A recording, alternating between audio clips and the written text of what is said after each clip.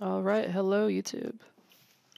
So today we're going to be talking about how to reduce your lag in League of Legends by switching to the LAN server. That's the Latin America North server. And more importantly, how to change the Latin America client to be in English instead of the default, which is Spanish. So if you have terrible ping and you're on the East Coast of the United States or you're in Latin America, you can switch your client to be in North America, Lat Latin North America.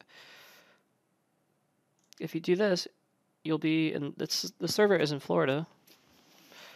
So if you're on the East Coast, you'll have much better ping by connecting to the Latin America server. Um, but of course, it'll be in Spanish. So in order to change that, you need to change the language to be in English, but there's no option for that. So we're going to show you how to make turn that into English. So I'm going to go on your Find Your League of Legends. You're going to right click, go to Properties. sorry. Right click, go to Open File Location. Now, there used to be a fix on the older version where you could go into RADs and go into System and click on this um, locale CFG here and um, make turn that into a read-only file. But that doesn't work anymore, so you have to do it the other way. Um, in order to change the Spanish to English now, you have to go to projects. So let me show you again.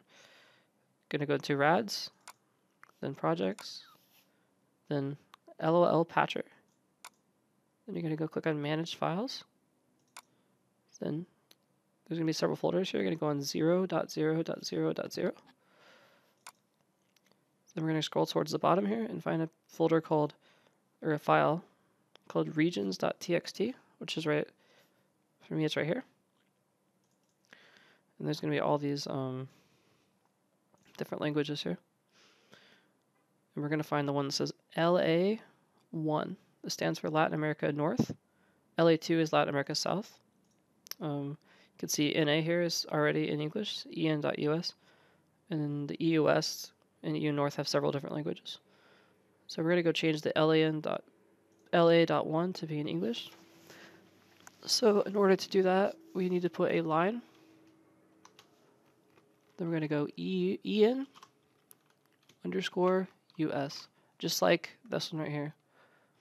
Make sure there's a comma at the end there, and make sure this A here needs to be in line with these other A's. So you're going to click backspace on this A. And that is now in line with the other A's. Okay, so LAA, LA1 is en.us. Then we're going to click save. So once that's done, we're gonna you can just exit out and exit out again. And here we go. We're gonna go back into League of Legends.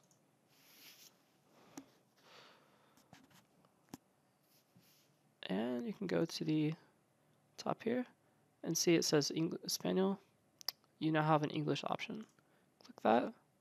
Click save, which is the one on the left side. Then it should change to launch. There we go. And then I'm going to log in here, and you can see it's now on the LAN server. I log in, and it will be in English.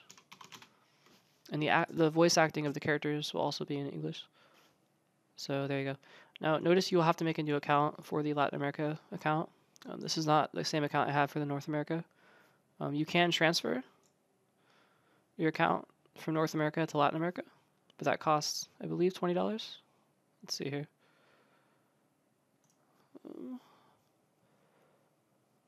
Yeah, transfer to Latin North America or any region is 2600 RP, which is about $20.